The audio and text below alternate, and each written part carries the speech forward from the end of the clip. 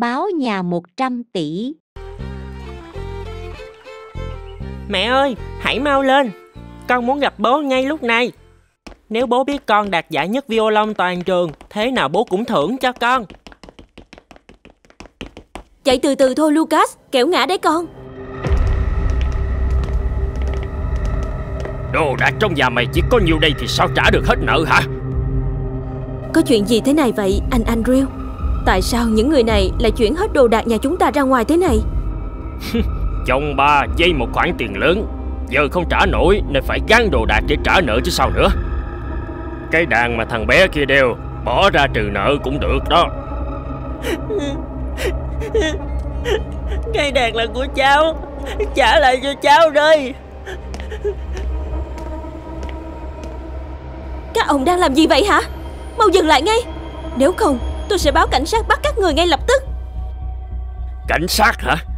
Cảnh sát mà tới thì không biết ai sẽ là người bị bắt đâu.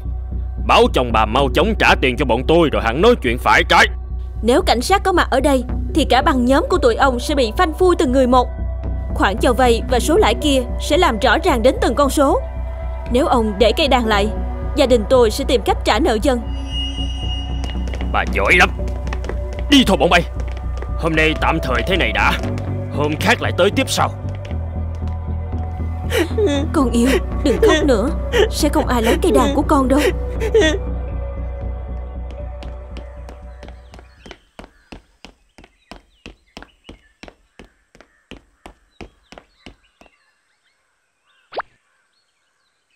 À mẹ kia rồi.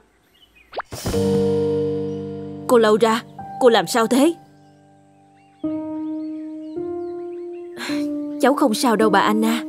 Chắc ừ, do độ này cháu tăng ca liên tiếp Nên cơ thể chưa quen đó thôi. Cô phải cố gắng giữ gìn sức khỏe Chứ cứ làm bạc mạng thế này nguy hiểm lắm. Nợ chưa trả được bao nhiêu Mà mình thì nằm đấy lại khổ cho. Biết sao được bà ạ? À? Cháu phải cố gắng làm việc Để vượt qua khoảng thời gian khó khăn này. Tội nghiệp mẹ quá Mình phải làm gì đó để giúp mẹ mới được. Ước mơ trở thành nghệ sĩ violon của mình Có lẽ phải tạm gác sang một bên thôi. Mình không thể để mẹ phải vất vả khổ sở thêm nữa. Cháu muốn bán chiếc violon này ư? Dạ dân thưa ông.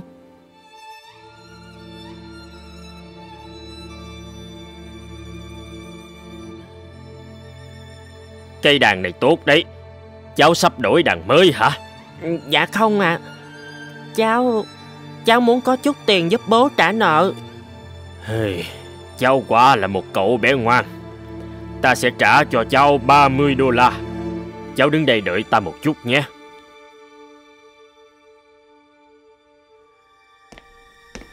Vậy là mình phải xa cây đàn này rồi. Có lẽ suốt cuộc đời này Mình sẽ không bao giờ được chơi violon nữa Trông kìa Cậu bé này xem violon như một người bạn thân thiết Không nỡ xa rời. Cháu chơi đàn violon đã lâu chưa cậu bé?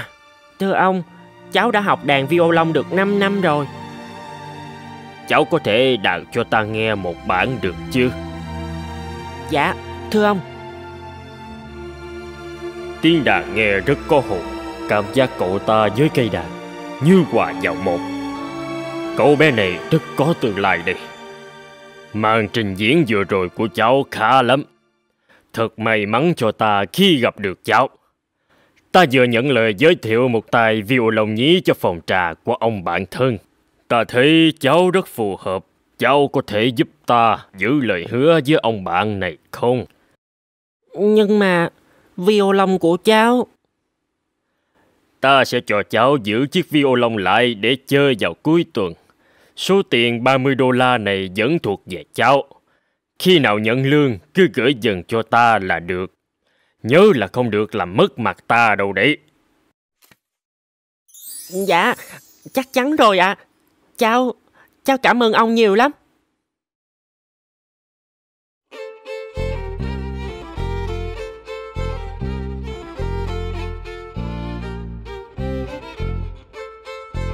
Cậu bé này để có thể trở thành nghệ sĩ chuyên nghiệp thì con đường còn dài lắm. Sao bỗng dưng ông lại có ý muốn giúp cậu bé vậy?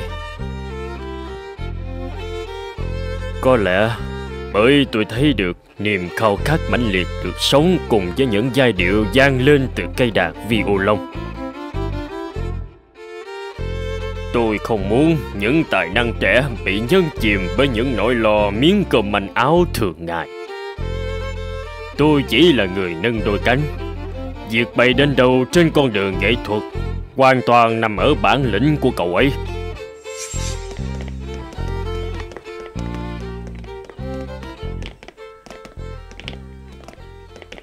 Hết lương tháng này là mình có thể trả hết tiền cho ông Macro rồi. Thật tuyệt quá đi. Ông chủ phòng trà này hết người để thuê rồi hay sao á mà lại cho thằng nhóc bé tí tuổi đầu lên chơi cơ chứ. Đúng đấy Giả sử là thần đồng thì cũng chả nói làm gì. Trong khi thằng bé này chỉ kéo ở mức tạm tạm Cũng chưa có tên tuổi hay thành tích gì. Làm sao có thể giữ chân được khách đến với phòng trà cơ chứ?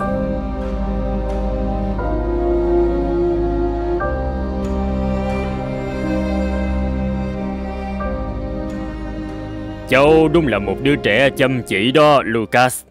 Hãy nhìn mà xem. Cháu đã trả hết nợ chỗ ta rồi. Hãy cố gắng tiếp tục phát huy nhé. Có lẽ cháu sẽ không đến đó chơi đàn nữa ông Macro ạ. Những vị khách nói rằng cháu không đủ tài năng để chơi nhạc ở phòng trà. Cháu đã quá tự tin vào bản thân. Thực ra trình độ của cháu vẫn ở mức thấp kém. Kìa Lucas, Mới gặp có chút xíu khó khăn như vậy mà cháu đã nản chí rồi. Có ai mới sinh ra đã là một nghệ sĩ xuất sắc đâu. Phải trải qua quá trình rèn luyện bản thân một cách khắc khổ mới có thể làm nên chuyện lớn. Đừng trả lời dội ngay lúc này. Hãy dùng thời gian chứng minh cho mọi người thấy cháu thực sự xứng đáng được đứng trên sân khấu.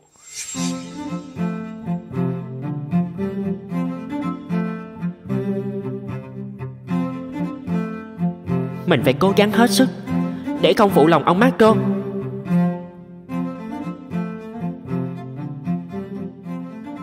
Năm năm sau. Tiền lương tháng này của cháu đây Lucas.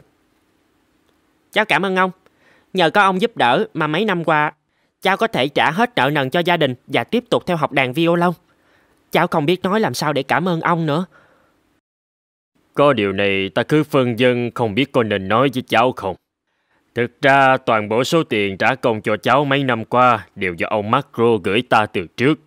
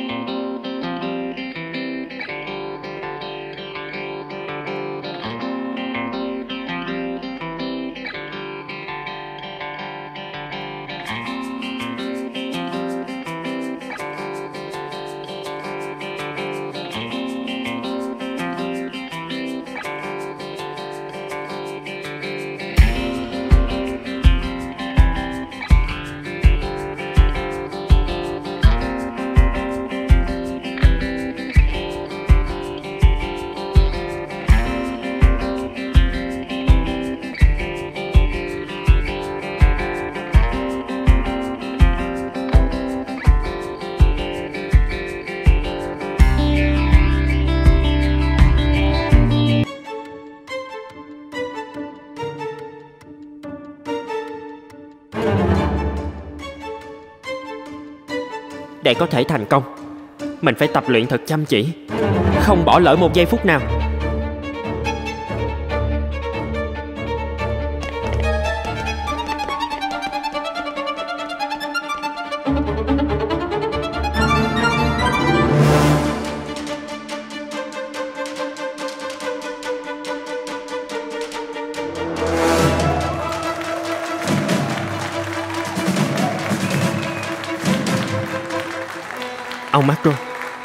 Cháu đến đây để kéo đàn cho ông nghe đây Ông Macro Là cháu Lucas đây à Cháu chính là cậu bé ngày xưa được ông trao cơ hội Chúc mừng cháu đã đạt giải nhất cuộc thi, Lucas. Ta thật không ngờ có thể gặp lại cháu ở đây và chứng kiến cháu đã trưởng thành như vậy. Tất cả là nhờ ông đã giúp đỡ cháu năm xưa. Nếu không có ông ngày ấy, có lẽ cháu đã từ bỏ chiếc đàn violon và sẽ chẳng bao giờ có cơ hội được thành công như ngày hôm nay. Hôm nay, cháu đã có thể tự tin đến đây, đàng hoàng đứng trên sân khấu và cảm ơn ông. Chính thành quả của cháu hôm nay đã là món quà quý giá đối với ta rồi. Cháu đã trở thành một nghệ sĩ violon đích thực, đúng như nguyện ước của ta năm xưa. Mặt trái của hôn nhân Mời vào. Ờ, anh Dũng, là anh ư? Ờ, Trang à Lâu lắm mới gặp em. Em đi đâu thế này? Ờ, anh làm việc ở đây ạ? Lại còn là phó giám đốc nữa chứ. Anh làm ở đây cũng một thời gian rồi. Hôm nay em đến có việc gì không? Hôm nay em tới đây để xin việc. Trước đây em làm vị trí gì? Ngày trước em làm kế toán của một doanh nghiệp. Ừ. Anh sẽ cố gắng giúp em. Em với Nam vẫn ổn chứ? Cậu ấy bây giờ làm gì rồi? Ờ, anh ấy làm kỹ sư của một nhà máy. Anh Dũng giỏi thật đó nha. Còn trẻ mà đã làm phó giám đốc rồi. Nhưng mà có một thứ Anh vẫn luôn thua Nam đấy chứ. Em đã chọn cậu ấy chứ không phải anh. Ờ, ờ em... em... Cho anh số điện thoại của em đi. Có gì anh sẽ báo cho em à em về chưa Em đang về. Hôm nay em đi nộp hồ sơ như thế nào rồi? Anh có còn nhớ anh Dũng bạn em hồi xưa hay không? Người yêu cũ của em chứ gì? Hôm nay em đến thì gặp anh Dũng á. Không ngờ anh ấy còn là phó giám đốc của công ty nữa. Trang à anh Dũng đây. Chiều nay anh hợp với phòng nhân sự Em được nhận rồi đấy. Ôi, Em cảm ơn anh Dũng nhiều lắm. Ừ Thứ hai gặp lại em nha. Ngày đầu tiên đi làm chưa quen Em mang theo cơm đi cho tiện. Alo, anh Dũng ạ. Anh muốn mời em đi ăn Để chúc mừng ngày đầu tiên đi làm được không? À? Dạ được ạ, em cũng chưa ăn gì. Sao rồi? Công việc có gì khó khăn không Dạ vâng ạ. Công việc rất tốt anh ơi. Nhờ có anh Dũng cả đấy. Ờ Hay để anh đưa em đi làm Dù sao cũng cùng được Nhưng uh, em sợ mọi người trong công ty lại bàn tán. Ừ, Có anh ở đây Thì không ai dám nói gì em đâu. Ờ,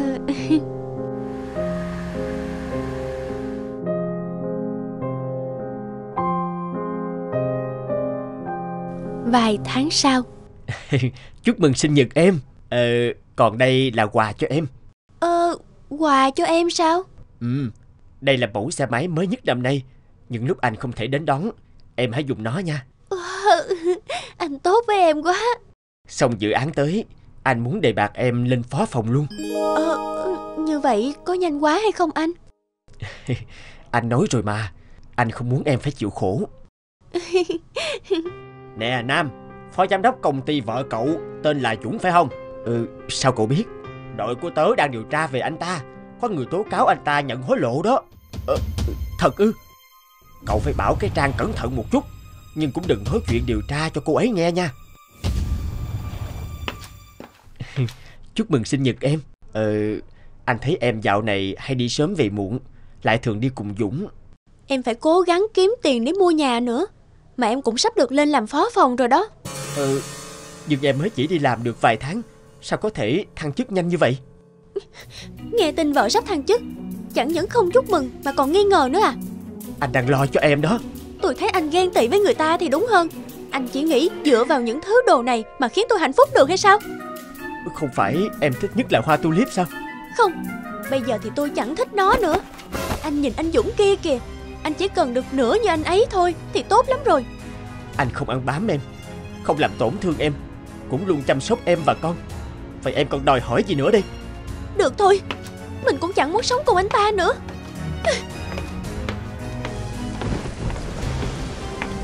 Hả? Là Dũng ư? Anh yên tâm Mọi chuyện tôi đã sắp xếp ổn thỏa rồi. Anh đến rồi ạ à. Em đang ngay đây tặng em nè. Wow, em sẽ đeo nó. À Sáng nay anh cùng chị Yến kế toán Đi gặp đối tác để bàn về hợp đồng. Nhưng chị ấy có việc đột xuất không đi được. Em đi cùng anh để ký duyệt chi nha. Dạ vâng ạ. Em ký đi. Dạ vâng. Anh chờ một chút để em kiểm tra lại nha. Ừm Em nghi ngờ năng lực làm việc của anh đấy à em đương nhiên là tin tưởng anh rồi. Anh Nguyễn Hùng Dũng Chúng tôi có lệnh bắt giữ anh Về việc nhận hối lộ. Hả? Chuyện gì thế này?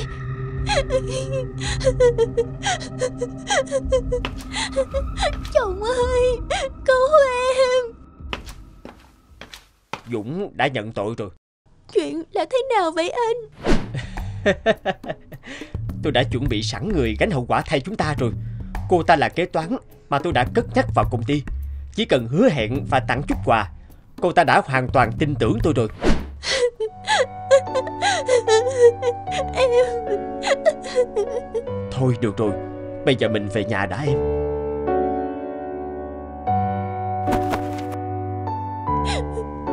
Em cứ nghĩ Anh sẽ không cần em nữa. Đúng là anh đã rất giận Nhưng bây giờ mọi chuyện cũng đã qua rồi.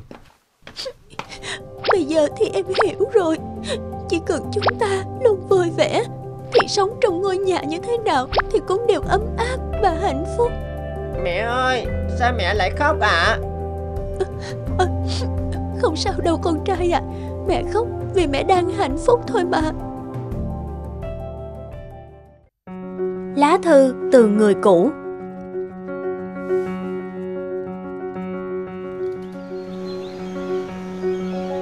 Cuối tuần này bố không phải quay phim. Các con muốn đi chơi đâu không nào? Yeah Ba đưa chúng con đi chơi công viên nha. Yeah yeah Ba đưa chúng con đi chơi công viên nha. Phải thì đi công viên Disney nha. Nhất trí. Ờ Adele Anh định nhắc tới chuyện chia tay của chúng ta đúng không? Ừm, Anh cũng không muốn mọi thứ đi đến bước này đâu. Chúng ta đều là người của công chúng. Tình yêu 10 năm qua của anh và em Từng là hình mẫu lý tưởng. Anh đã nghĩ tới hậu quả chưa? Anh nghĩ đời quá ngắn ngủi Để sống cho người khác. Chuyện tình cảm cần rạch rồi Nếu tiếp tục yêu anh Em sẽ là người chịu thiệt thòi thôi.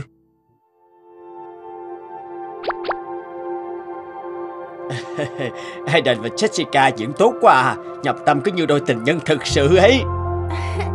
Đạo diễn John, ông cứ quá lời Aden đã có chị Adele là người vợ xinh đẹp rồi. Làm sao tôi dám chen ngang chứ? Adele cũng là một diễn viên tài năng. Thật tiếc vì cô ấy quyết định tạm dừng sự nghiệp Để tập trung chăm lo cho gia đình. Ba, con đến phim trường thăm ba đây. Ờ, ôi, Lina ờ, Sao con lại ở đây? Chào tất cả mọi người. Ờ, kìa chị Adele ờ, Tại sao chị ấy lại xuất hiện bất ngờ ở đây chứ Gia đình Aiden và Adele thật hạnh phúc ha? Em à, em làm thế này là sao chứ? Anh cảm thấy khó chịu Khi em tới tận trường quay thăm anh hả? Ừ, anh ờ, Chẳng phải anh đã nói với em rồi sao?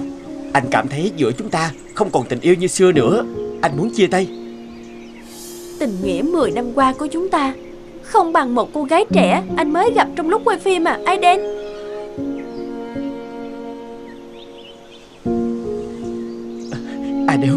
những tấm ảnh này đều là Paramasi chụp lén thôi. Nhìn những tấm hình này Em đã hiểu hết rồi. Adele, dù cho anh và em chưa từng kết hôn Nhưng đối với anh Em vẫn là người phụ nữ đầu tiên Mà anh dành trọn tình cảm. Anh vẫn là một người cha của hai đứa trẻ đáng yêu của chúng ta sinh ra. Thôi được Aiden. Hôm nay tới đây đã tận mắt chứng kiến.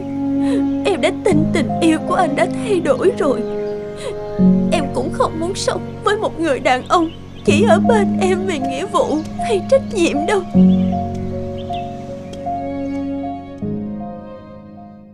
Chia tay tình cũ 10 năm. Tài tử Aiden đến với nữ người mẫu nóng bỏng Jessica. Trời đất ơi, anh ta đã bỏ Adele. Người đã sinh ra hai con cho anh ta hả? Đúng là kẻ bội bạc mà. Vào ngày hôm qua Tài tử Aiden đã làm đám cưới lãng mạn với Jessica Điều mà anh chưa từng dành cho người tình cũ Adele Mẹ ơi, Sao ba lại đóng vai chú rể vậy Ba có tới đây nữa không Alo, tôi Adele nghe đây. à, Dạ chào chị Chúng tôi là đại diện báo chuyện của sao Được biết hôm nay đám cưới của Aiden và Jessica đã diễn ra Chúng tôi muốn phỏng vấn cảm nghĩ của chị được không ạ Xin lỗi, tôi không có gì để bình luận hết. Aiden và tôi đã chia tay trong văn minh. Tôi chúc cho anh ấy hạnh phúc. Nữ chính trong bom tấn, cánh rừng sâu thẳm, được chọn mặt gửi vàng cho người mẫu Jessica. Hậu đám cưới với tài tử Aiden, Jessica trúng đậm quảng cáo và là gương mặt đại diện cho nhiều thương hiệu nổi tiếng.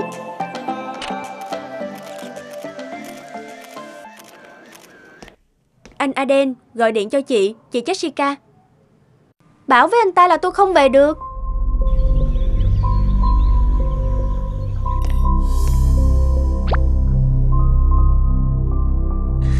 Jessica Hôm nay em đi đâu với ai? Sao anh chưa từng biết mặt anh ta chứ? Anh theo dõi tôi đó à? Mối quan hệ đối tác riêng của tôi, anh không cần biết. Anh đánh tôi hả? Ừ Jessica Em có sao không? Anh đâu có làm gì đâu. Sau khi kết hôn Cô ấy thay đổi chóng mặt luôn.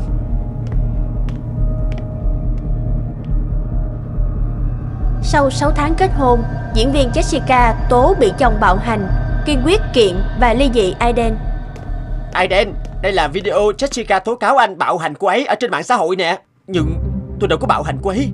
Chứng cứ đâu ra vậy? Aiden là tên đàn ông bạo lực. Anh ta đã đánh tôi. Nè Hãy nhìn các vết bầm tím này đi. Anh ta đã đánh một người phụ nữ yếu đuối như tôi. Tôi muốn ly dị Hóa ra hình ảnh đẹp đẽ của Aiden trên phim Chỉ là giả tạo thôi. Hắn ta bỏ Adele để chạy theo cô gái trẻ trung hơn, chứng tỏ chẳng tử tế gì. Cô ta là một kẻ dối trá. Mình sẽ thuê luật sư. Ừ, Aiden Thực ra Jessica được khán giả bên vực hơn Bởi vì anh đã rời bỏ Adele. Ngay giây phút ấy Họ đã không tin anh nữa rồi.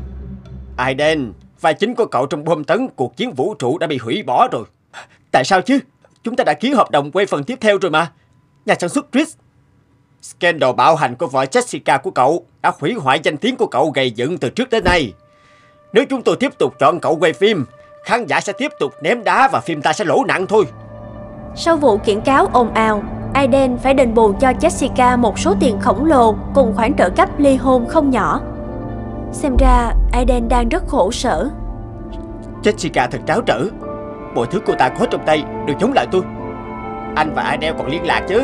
Tôi thấy hai người vẫn cùng chăm lo cho con cái. Nhưng tôi xấu hổ, chẳng có tư cách gì để đối diện với Adele nữa đâu. Mẹ ơi khi nào ba tới Con sẽ rủ ba chơi bóng chày À, Ba sẽ rất thích đó con yêu à.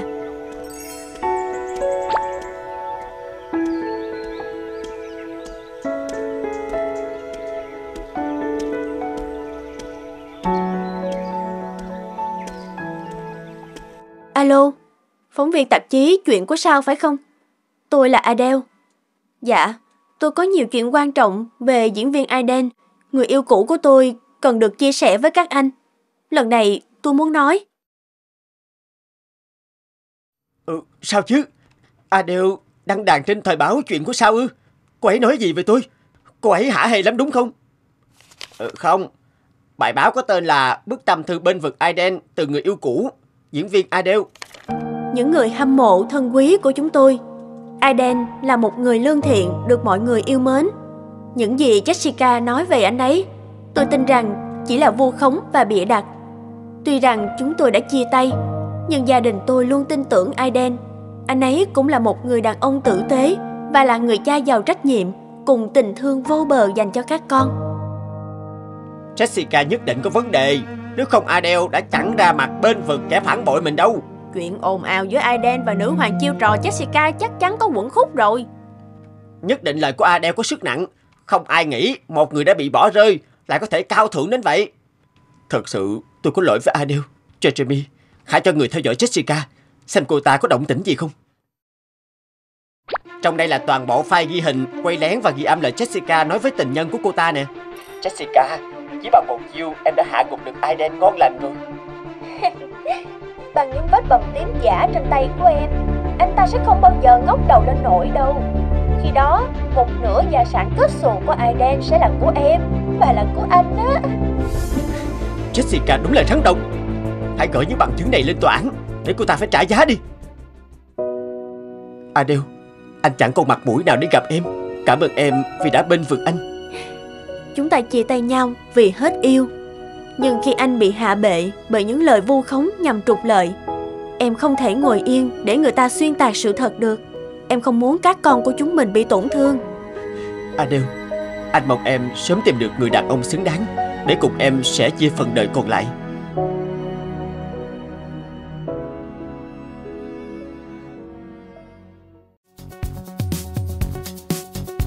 like, comment, subscribe kênh để xem thêm những video mới nhất nhé.